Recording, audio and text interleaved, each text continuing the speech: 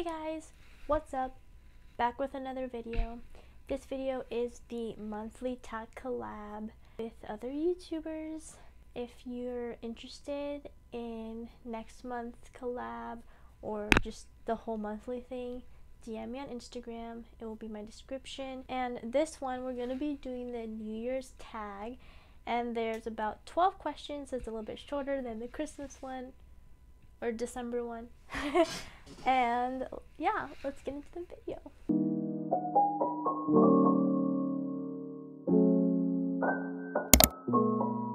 So, first question is if you could look back on one memory from last year that you wish you could relive, what would it be?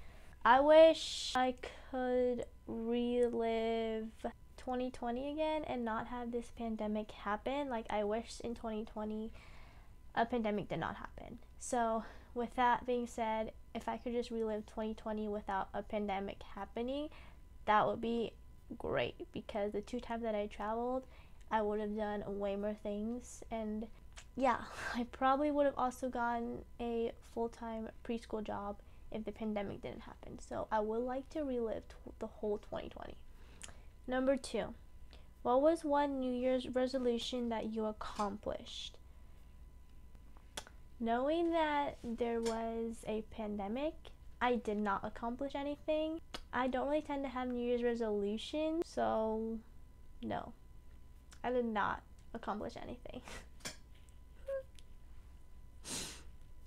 I feel like my one Year's resolution was to get a full time preschool job, but with the pandemic, I got a preschool job, but it's part time because of COVID. So, yes and no, but no.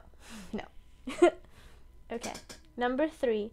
Three words to describe last year loss, depression, understanding. Number four. Best music related creation slash inspiration last year by an artist in your opinion? I can't think of a song at this moment, but if I'm editing this, it will be somewhere around here and I will share it. But at this moment, I can't think of a song. Probably some like sad or depressed song because 2020 was really sad and dark and not good. So, alright. Number five, something you look forward to this coming year. Definitely going back to teaching in person, hopefully saving up for a new my own place, not a new place, my own place with my boyfriend, and hopefully moving out of the state of California. But if not, then we'll probably still get our own place within, I don't know, maybe just for one year and then after that move out. Number six, what did last year teach you?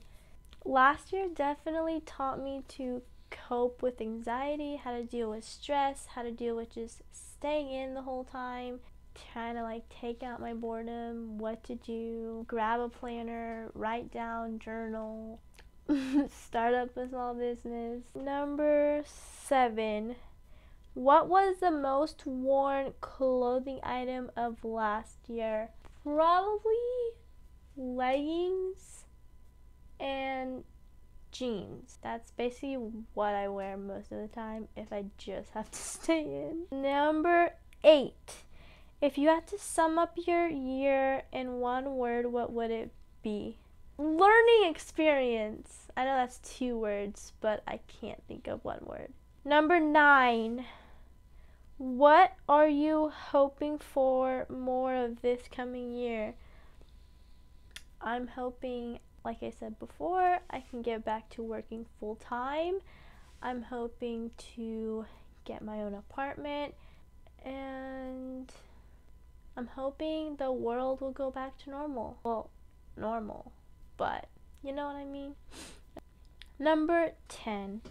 What are you hoping for less of less of this coming year? Pandemic? Being in lockdown? And depression slash anxiety. Number 11. Best book you read last year. Ooh, this is a good one. So I was in this book club last year, and I think I only read like the first two books. After that, I just did not have time because that's when I got my part time preschool job. So I feel like the best book I read would have to be One Small Thing by Erin Watt. Probably put it up here. It was a really good book. Definitely recommend it to anyone that's looking for books and if you haven't read it. Number 12. What is your New Year's resolution for the upcoming year? Like I said, I don't tend to do New Year's resolutions, but I kind of like said it within this video. I hope to get an apartment. That's number one for sure. And go to work, go back to working full time. Like literally, those are the two things that are stopping me. Because if I was working full time as of last year without the pandemic happening, I would have probably already saved up for a new place and I would probably be getting it soon. Those are the main two things that I'm hoping for. Doesn't matter what question you ask me.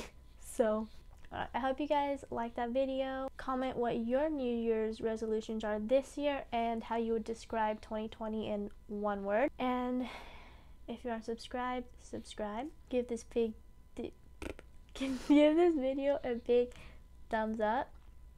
And I will see you in next week's video. Bye.